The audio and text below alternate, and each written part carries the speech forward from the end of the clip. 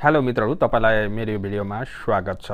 मित्रहरू वर्षेनी लाखौँको सङ्ख्यामा विभिन्न मुलुकबाट विद्यार्थीहरू क्यानाडा अध्ययनको लागि आउने गरेका छन् र पछिल्लो केही वर्षमा नेपालबाट पनि अधिकांश विद्यार्थीहरू क्यानाडा स्टुडेन्ट भिजामा आउने गरेका छन् र आज म यो भिडियोमा एउटा स्टुडेन्ट स्टुडेन्ट भिजा प्राप्त गरेर क्यानाडा आइसकेपछि स्टुडेन्टदेखि पर्मानेन्ट रेसिडेन्टसम्मको यात्रा कसरी तय गर्ने स्पेसली एउटा स्टुडेन्टको स्टुडेन्टदेखि पर्मानेन्ट रेसिडेन्ट बनुन्जेलसम्मको यात्रा तय गर्नको लागि के कस्तो स्टेप्सहरू रहेको छ पोस्ट ग्रेजुएसन वर्क पर्मिट प्राप्त कसरी गर्ने र त्यसको बेसिसमा कसरी स्टुडेन्टहरू पर्मानेन्ट रेसिडेन्ट बन्नेछन् साथै इमिग्रेसनका विभिन्न अप्सन्सहरू विद्यार्थीले अध्ययन गरिसकेपछि कसरी क्वालिफाई गर्न सक्छ एज अ पर्मानेन्ट रेसिडेन्ट त्यसको बारेमा आज म यो भिडियोमा विस्तृत रूपमा चर्चा गर्नेछु। मित्र यदि तपाईँ पहिलोपटक यो च्यानल हेरिराख्नु भएको छ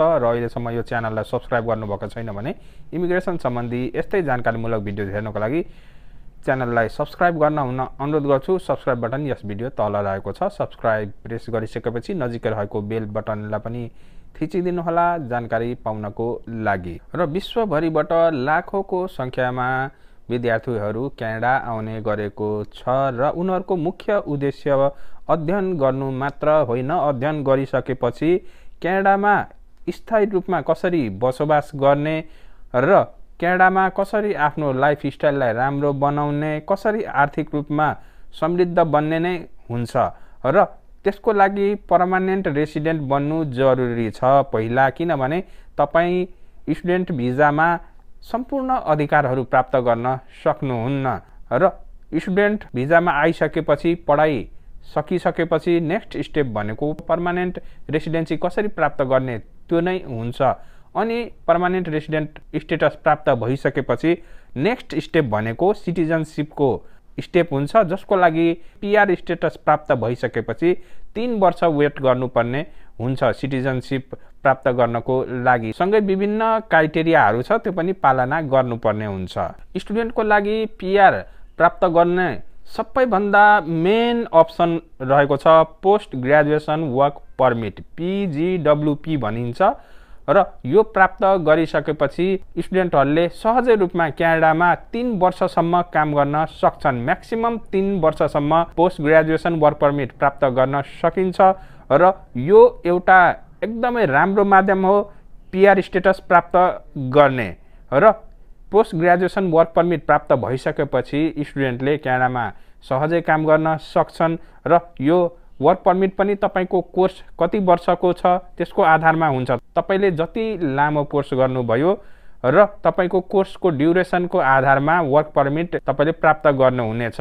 लामो कोर्सको लागि लामो समयको वर्क पर्मिट तपाईँले प्राप्त गर्नुहुनेछ र म्याक्सिमम् थ्री इयर्स अहिले रहेको छ। Maximum period of work permit र यो एउटा क्यानेडियन वर्क एक्सपिरियन्स प्राप्त गर्ने एकदमै राम्रो माध्यम पनि रहेको छ पोस्ट ग्रेजुएसन वर्क पर्मिट अब पोस्ट ग्रेजुएसन वर्क पर्मिटको लागि कसरी इलिजिबल हुने एउटा प्रश्न आउँछ। पोस्ट ग्रेजुएसन वर्क पर्मिट प्राप्त गर्नको लागि तपाईँले कुनै पनि Canadian institution full time course गरेको हुनुपर्छ। मिनिमम एट मन्थको कोर्स गरेकै हुनुपर्छ either diploma certificate or degree र एट मन्थ मिनिमम रहेको छ त्योभन्दा माथिको कोर्सहरू गर्न सक्नुहुन्छ। जस्तै कि यहाँ एक वर्षको पनि कोर्स हुन्छ ब्याचलर पास आउट हुनुहुन्छ भने तपाईँले एक वर्ष पोस्ट ग्रेजुएट डिप्लोमा अथवा सर्टिफिकेट कोर्सहरू गर्न सक्नुहुन्छ। भने चार वर्षको ब्याचलर हुन्छ र मास्टर्स युजुअली डेढ वर्षदेखि दुई वर्ष कुनै कुनै युनिभर्सिटीमा एक वर्षको मास्टर पनि रहेको छ। अब पोस्ट ग्रेजुएसन वर्क पर्मिटको एप्लिकेसन प्रोसेस के रहेको छ त? एउटा प्रश्न राइज हुन्छ। र तपाईँले कुनै युनिभर्सिटीमा अथवा कलेजमा अध्ययन गरिराख्नु भएको छ? फुल टाइम कोर्स मैले अघि नै भनिसकेँ। तपाईँले पार्ट टाइम कोर्स गरेर पोस्ट ग्रेजुएसन वर्क पर्मिट प्राप्त गर्न सक्नुहुन्न। र तपाईँको इन्स्टिट्युसन डेजिग्नेटेड लर्निङ इन्स्टिट्युसन हुनु पर्यो अर्थात् क्यानाडा सरकारले त्यसलाई मान्यता दिएको हुनुपर्छ।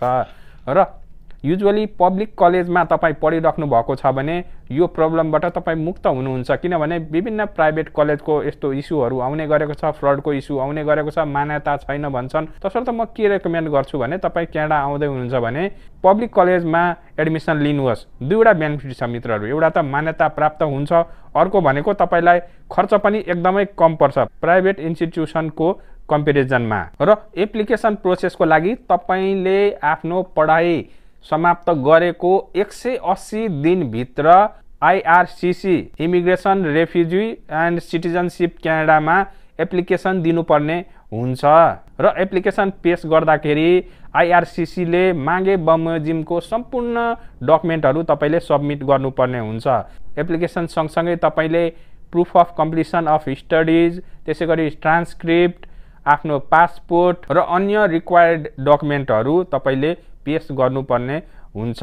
एसेन्सियल डकुमेन्टहरू के कस्तो चाहिन्छ यसको लागि तपाईँले आइआरसिसीको वेबसाइटमा गएर डकुमेन्टहरू हेर्न सक्नुहुन्छ। तपाईँले पढाइ समाप्त गरिसकेपछि कुन कुन डकुमेन्ट पेस गर्नुपर्ने हुन्छ र यो एक सय अस्सी दिनभित्र तपाईँले एप्लिकेसन बुझाउनुपर्छ।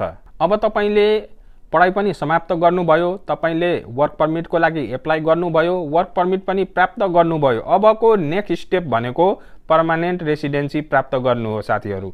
र तपाईँले पर्मानेन्ट रेसिडेन्सी पाउनको लागि विभिन्न स्ट्रिमहरू रहेको छ। सबैभन्दा पपुलर स्ट्रिम रहेको छ एक्सप्रेस इन्ट्री दोस्रो रहेको छ प्रोभिन्सियल नोमिनी प्रोग्राम त्यसै गरी क्यानाडाको विभिन्न प्रोभिन्सले छुट्टा छुट्टै पिआरको कार्यक्रमहरू ल्याएको छ। तपाईँले सो कार्यक्रममा पनि एप्लाई गर्न सक्नुहुन्छ। जस्तै कि Canadian experience class Atlantic immigration pilot program rural and northern immigration pilot program त्यसै गरी विभिन्न स्टेटले छुट्टा छुट्टै पिआरको स्किम ल्याएको छ जस्तै कि मेनिटोबाको छुट्टै रहेको छ क्युबेक स्किल वर्कर रहेको छ सास्काचवानको छुट्टै रहेको छ र तपाईँले वर्क एक्सपिरियन्स प्राप्त गरिसकेपछि क्यानेडियन एजुकेसन प्राप्त गरिसकेपछि तपाईँ एउटा पोटेन्सियल क्यान्डिडेट हो। क्यानाडामा पिआर एप्लाई गर्नको लागि इङ्ग्लिस प्रोफेन्सी को सर्टिफिकेट पनि पेस गर्नुपर्ने हुनसक्छ साथीहरू र पिआरको कार्यक्रम अनुसार तपाईँले अङ्ग्रेजीको परीक्षा पनि दिनुपर्ने हुनसक्छ। अङ्ग्रेजीमा तपाईँ दक्ष हुनुहुन्छ भनेर त्यसको प्रमाणपत्र पेस गर्नुपर्ने हुनसक्छ जस्तै कि आइल्सको इक्जामिनेसन दिनुपर्ने हुनसक्छ। अब चर्चा गरौँ एक्सप्रेस इन्ट्रीको एक्सप्रेस इन्ट्री भनेको पोइन्ट बेस्ड इमिग्रेसन सिस्टम हो। यसमा तपाईँ जति दक्ष हुनुहुन्छ सोही अनुसार तपाईँले पोइन्ट प्राप्त गर्नुहुन्छ।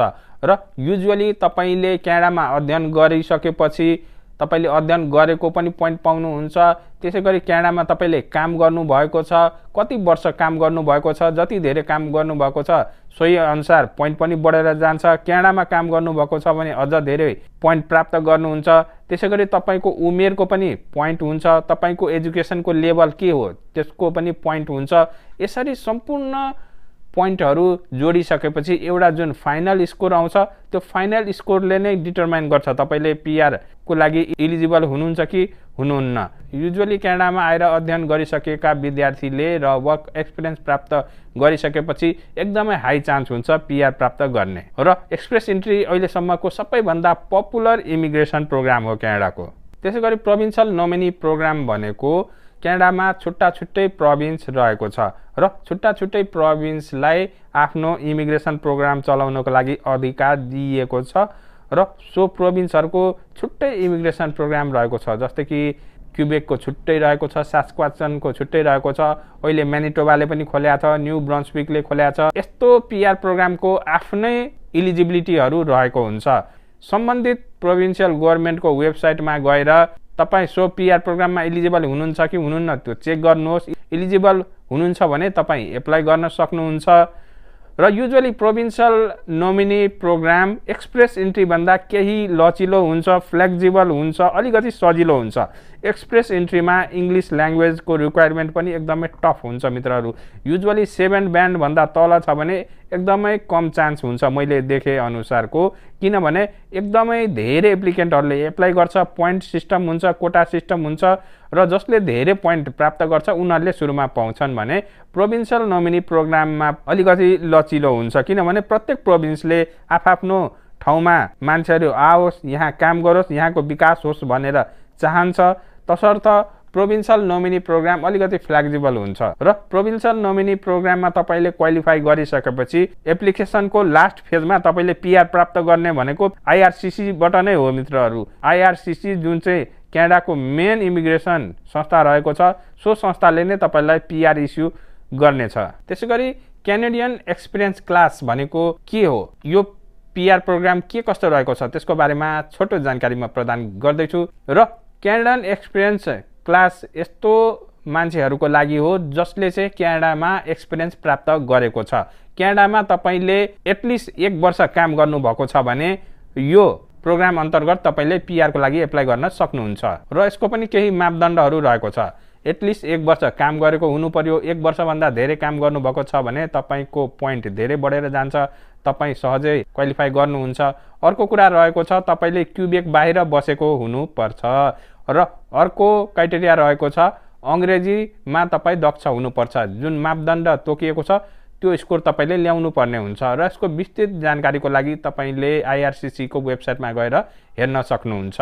एटलान्टिक इमिग्रेसन पाइलट प्रोग्राम के हो त? यसको बारेमा जानकारी लिउँ यो प्रोग्राम फेडरल गभर्मेन्ट र एटलान्टिक प्रोभिन्सको जोइन्ट एफर्टमा ल्याइएको प्रोग्राम हो। अब एटलान्टिक प्रोभिन्समा कुन कुन प्रोभिन्सहरू पर्छ त्यो जान्नु जरुरी छ। Atlantic प्रोभिन्समा Nova Scotia New Brunswick Newfoundland and Labrador र प्रिन्स एडवर्ड आइल्यान्ड पर्ने गर्छ। र प्रोभिन्स र फेडरल गभर्मेन्टको जोइन्ट एफर्टमा ल्याइएको प्रोग्राम हो र यो प्रोग्रामले एटलान्टिक प्रोभिन्समा स्पेसली एक्सपिरियन्स स्किल वर्करहरूलाई एट्र्याक्ट गर्नको लागि ल्याइएको हो। साथै इन्टरनेसनल ग्रेजुएटहरूलाई पनि एट्र्याक्ट गर्ने खालको यो कार्यक्रम रहेको छ। त्यसै गरी यो कार्यक्रममा क्वालिफाई गर्नको लागि क्यानेडियन डेजिग्नेटेड इम्प्लोयरबाट तपाईँले जब अफर प्राप्त गरेको हुनुपर्छ अनि मात्र एप्लाई गर्न सक्नुहुन्छ र यो इम्प्लोयर पार्टिसिपेटिङ प्रोभिन्सबाट हुनु पर्यो। मैले अघि नै भनिसकेँ मित्रहरू एटलान्टिक प्रोभिन्सको लागि हो। तसर्थ एटलान्टिक प्रोभिन्समा पर्ने प्रोभिन्समा अवस्थित इम्प्लोयरले तपाईँलाई जब अफर उपलब्ध गराउँछ भने तपाईँले यो कार्यक्रममा एप्लाई गर्न सक्नुहुन्छ। सँगसँगै तपाईँसँग एक्सपिरियन्स हुनु पर्यो एजुकेसन हुनु पर्यो र अन्य रिक्वायरमेन्टहरू मिट गर्नुपर्छ।